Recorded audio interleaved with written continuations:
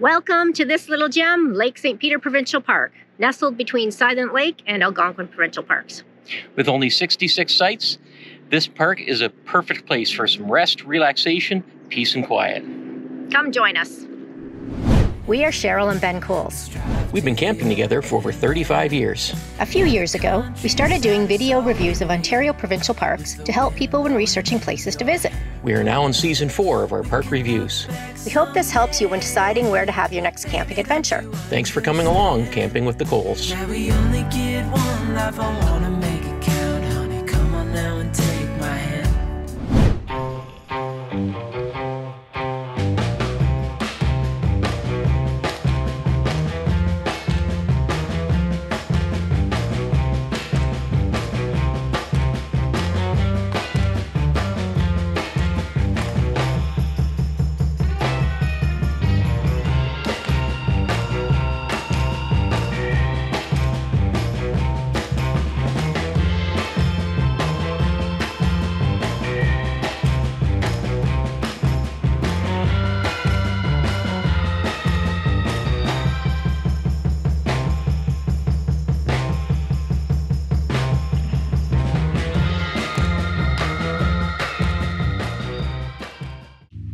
Lake St. Peter Provincial Park is a very small park located 30 kilometers south of Whitney, just east of the southern tip of Algonquin Park. The park is on the shores of Lake St. Peter. So the dump station is immediately to the right after you pass the uh, registration gate. It has one dump spot, not threaded, and it has two fill spots. They are side by side, so only one person can be filling at a time, but you can fill uh, either side of your trailer depending on what side your uh, freshwater tank is on. So he came in right here, and that's where it's a little confusing because Android Auto had us continuing down this road. But you need to turn right in here and go to the park office. Weren't sure where to go here. I ended up going right into the dump station. And then when I came out of the dump station, I had to do an immediate little zigzag here to get in here. And it is one way to go around this way.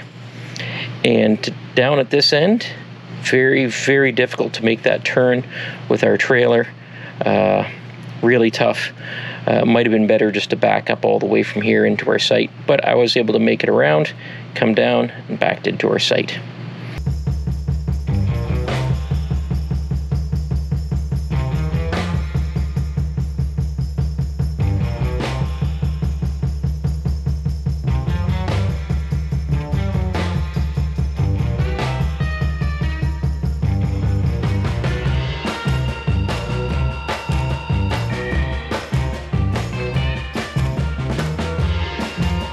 This is us, site number 11. It's small, but it's flat and easy to get into.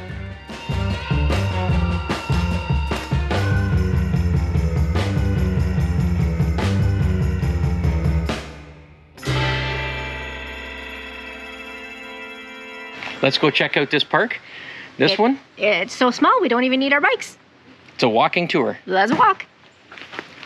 Lake St. Peter has only one campground for a total of 44 electric and 22 non electric sites.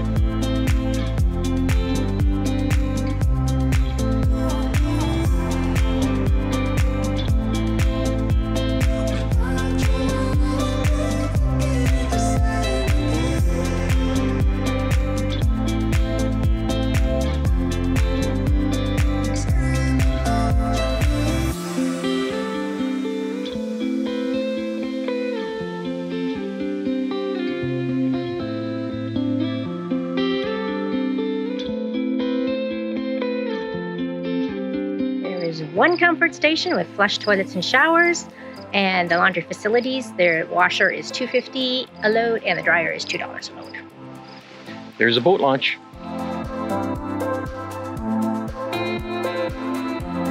There's two beaches. They both go into Lake St. Peter. This is the main one in the day use area, nice big sandy beach, and there's a much smaller one in the camping area. There are two hiking trails, the Lookout Trail and the Cabin Trail. They call them two trails, but they're basically two loops of one trail. The Lookout Trail is two and a half kilometers, and the Cabin Trail comes off of the Lookout Trail at the top of it, makes it into a uh, four kilometer trail. Two kilometers away is the Hastings Trail, Lake St. Peter is the northern terminus for this 191 kilometer trail. It's open to cyclists, horseback riders, ATV riders, and hikers. It's free for hikers to walk it, but it costs for everybody else. You can rent kayaks and canoes at the main office, and they're stored right down on the main beach. Lake St. Peter is known for lake trout and bass. You can fish from the shoreline, or for best results, head out in a canoe, kayak, or motorboat. For cell phone service, Bell, Telus, Koodo, Virgin Mobile. There's excellent service throughout the park. Had no issues whatsoever. I believe if you look in the background here, there's a uh, tower. I suspect that they probably have uh, an antenna on that tower because uh, no issues with cell service here. The following is sponsored by Ontario Parks. Holiday season is coming. That means it's time for shopping. Yay! Did you know that you can get all the same Ontario Parks gear you saw in the park stores online? All that amazing gear and more can be found at the Ontario Parks website at shop.ontarioparks.com. So, if you're looking for a gift for that special camper in your life, or something for yourself, check out all the great gear they have. If you missed that park patch when you were at the campground, you can get it here. If the park store you're at was out of the Ontario Parks Crest buffs, you can get it here. Check out stuff you can find at the online store. Clothing for adults and kids, t-shirts, sweatshirts, hoodies, pants, hats, buffs, socks, and mittens. There's patches and stickers, mugs, water bottles, puzzles, passports, scratch maps, coloring books, stuffed animals, towels, bags, and maps. You can also get season permits and gift cards. When you purchase anything from the Ontario Park store, you're helping to make nature more accessible for Ontarians, and you're protecting it for future generations. Your purchase will help fund projects like protecting the turtles by installing turtle nest coverings, wildlife tunnels, and roadside fencing to keep turtles safe in our provincial parks. It will also help fund the Kids Discovery program, both online and in the parks. It will also go toward trail and recreation maintenance and the protection of the unique ecosystems, biodiversity, and significant elements of Ontario's natural and cultural heritage. When you're doing your holiday shopping, go online to shop.ontarioparks.com and pick up some great gear and help support our amazing provincial parks. That's right. Time for Cheryl's Loo Review. So there isn't too many uh, vault toilets in this small park, but the ones I've been to have been not too bad. Um, it's just a basic pit vault toilet, um, no plumbing involved. Um, there's hand sanitizer on the outside, that's it. And there's a woman's trash, garbage little can in, in, in the inside. Um, the odors aren't too bad. Just remember to always put the uh, seat lid down after your business to keep the odors down and dump your dishwater down the vault toilet as well. And that helps prevent smells. Um, with that being said, I think I'll give them a flower. Lake St. Peter is a really nice lake to paddle around. Lots of little coves and inlets to explore, and it's really nice if you want to check out all the cottages. Most of the perimeter of the lake are cottages, so uh, we kind of like to go along and check out the cottage and see what might have been or what might be.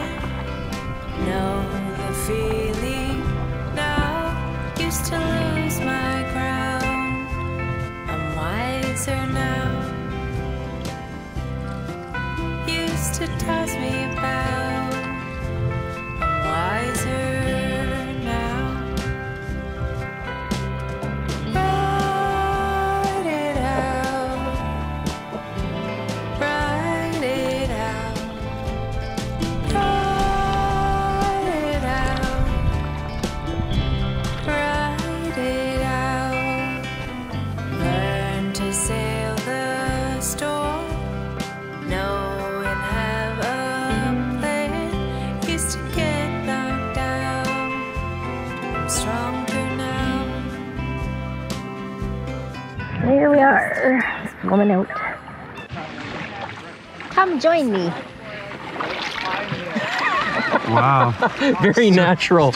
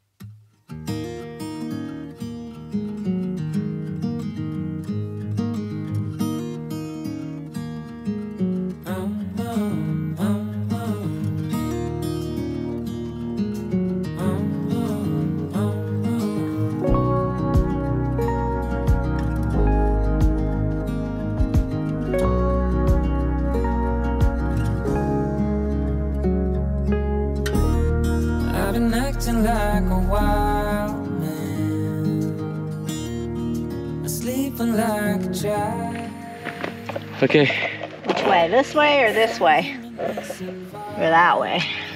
which way do you want to go? I don't know. Should we check out the cabin? Wow. I don't know. That's an extra. It makes it four kilometers instead of two and a half, so it only adds a kilometer and a half. Alright. We may as well do it. Ah. Cabin trail.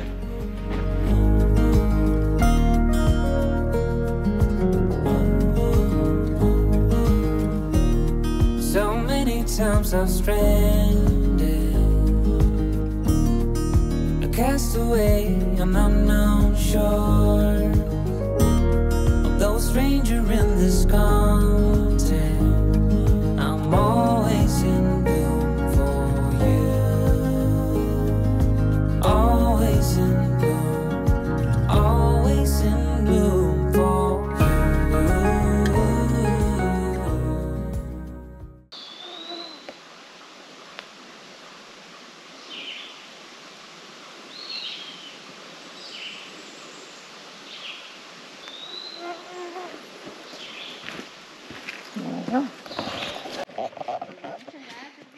So this is a, a new app I just learned about.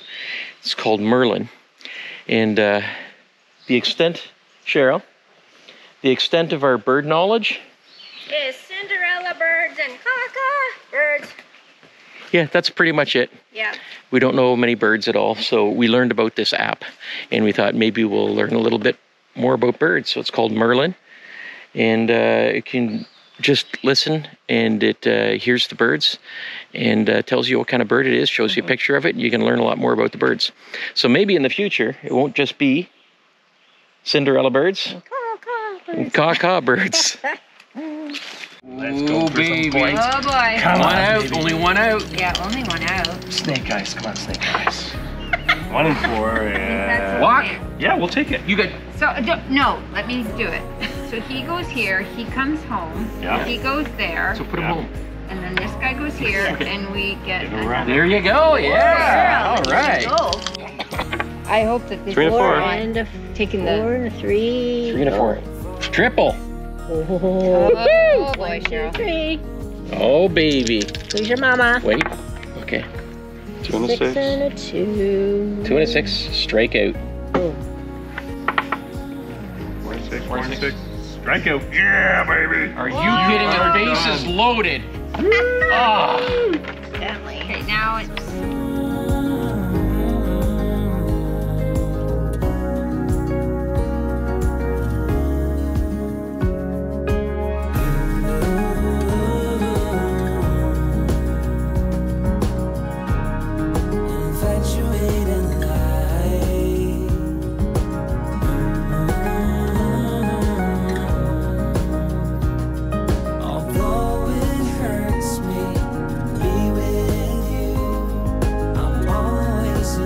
Three and a half kilometers west of the park is the very small community of Lake St. Peter. And at the outskirts of that is West Pines Park Resort. And it is a nice place to pick up some Kawartha Lakes ice cream. And you know how we love our ice cream. Mmm, strawberry shortcake.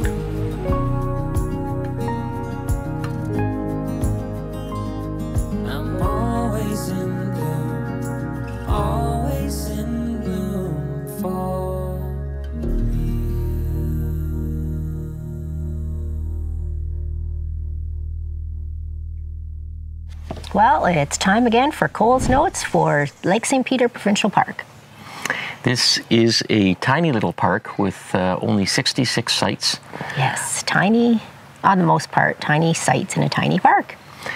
but it has a lake. A big uh, lake. yeah, John said it's the biggest little lake. Mm-hmm. I think that's what he said, biggest little lake. Because when you're looking out at the lake, it, it looks like an okay sized lake, but then when you go paddling, you keep rounding the next curve and rounding the next curve, and it just keeps on getting bigger and bigger. Yeah, it's pretty busy lake. There's a, lo- a lot of cottages on the lake, which I didn't think there would be. Yeah, if uh, like, like this is cottage country where we are right now. If you're looking for a wilderness paddle, this isn't the place. I really liked the beach here. I was surprised that it reminded me a lot of the Bonnechere, but just a fraction of the size. Yeah, it's very similar because it has trees right on the beach. Yeah, all the pine trees and nice sandy beach. Yeah, so you don't have to uh, bring an umbrella or anything. You can sit in the shade or you can sit in the sun. You've got your choice. Yeah, fun for the kids. Mm-hmm. So there isn't really a whole lot to do in this park, but it's just a nice, quiet, quaint little park. Yeah, but the location that the park is in is ideal because we're only about 30 kilometers from Algonquin Park. And with your park pass, you can go into Algonquin and take advantage of everything that Algonquin has to offer. That's right. So if I was staying here for a few days, I would definitely be doing that, heading into Algonquin. Some of the activities, such as uh, the logging museum, probably closer to Lake St. Peter than they are to other parts of Algonquin. That's right. Um, also, this is like a sister park to Silent Lake Provincial Park. It's about mm, 60 kilometers away, but uh, that's another option you have. You can go check out that park. So we did actually do some biking just outside of the park and around the lake. Yeah, just on the roads. Yep. Um, we did a, a not too bad hike. We did a four kilometer hike. That's the only uh, trail in the park. Yep, it's a it's a lookout hike. Um, it's a so-so lookout. A lot of incline. Yeah, a It's lot. a, it's a steep one. Yep, it's a bit of a rugged hike. Um, and then the uh, old cabin that was up there. No, That was left. yeah, that wasn't much of anything to see, but but it's a hike nonetheless. The staff were really nice here and welcoming when we first arrived. That was nice to see. Yep, and we saw them out working all the time, and they are quick to clean a site when people are gone. Uh, we we really like the quaint feeling of this park because it is so small. Uh, It's there's quiet. no There's no partiers or Yeah, there's anything. It's just- no bustling activity or anything. It's just laid back. Mm-hmm. And because it's so small, everything's close. You walk to everything. We're just a very short walk to the beach. We can carry our paddleboard or kayaks down to the beach, or if we want, we can drive to the beach still, but it is very close. And Bancroft is close by if you want to go into town. What is it, 20 minutes or Yep. a half hour? 20 minutes? There's a Kawartha Dairies there for ice cream, Mm-hmm. but there's also one just uh, three and a half kilometers from here in the town of Lake St. Peter. Yeah. West Pines Park Resort, I think it's called. Mm-hmm. We mentioned it uh, earlier in the video. But uh, yeah, so there is stuff to do in the area, and uh, we really did enjoy this park. This is kind of the last park and a big string of parks we've been doing for Mm-hmm. July and August, and uh, this was a great park to wind down on. So, in terms of a rating for this park, I was just going to say it doesn't have the visitor center. Right. It doesn't have dog beach. It doesn't have playground. Like it doesn't have most things. It's just very bones. yeah, bare bones type yeah. thing, Yeah.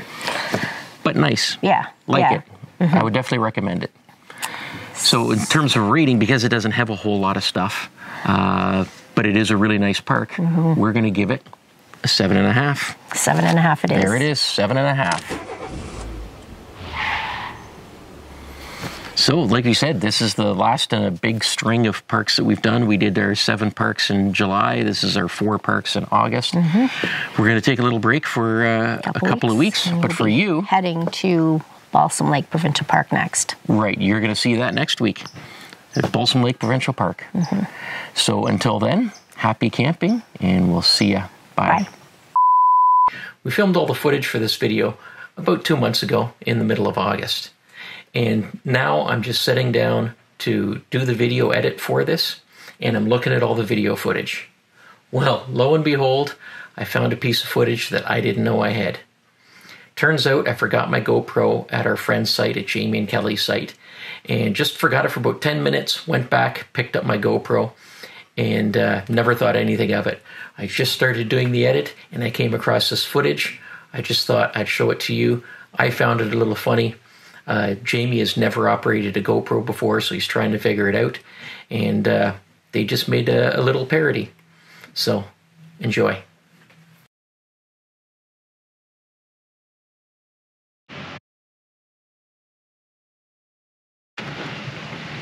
Hi, hello. I'm Kelly. Welcome to Camping Entertaining with Kelly. When you have guests coming over to your campsite, you need to have very good snacks. Put on your prettiest apron, take out your prettiest camping dishes, color coordinated, and make sure you have lots of yummy snacks. Come on inside. I'll show you what I have. This is the finest no name chocolate I could find. Two flavors. And to help the guests know what's what, milk chocolate is the small squares, double square has nuts in.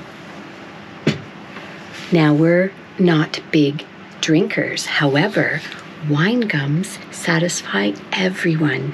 And by adding a small serving spoon, it just takes it up to a whole new level. Finally, don't forget the popcorn, and as a special seasonal treat, come have a look in my fridge. Oh, there they are, camping with the Coles. They're coming over. Yes. Beautiful cherries, keeping it healthy. Now, they're staying chilled so that when our guests come over, we will be all ready. Thank you for joining Entertaining Camping with Kelly. Bye bye.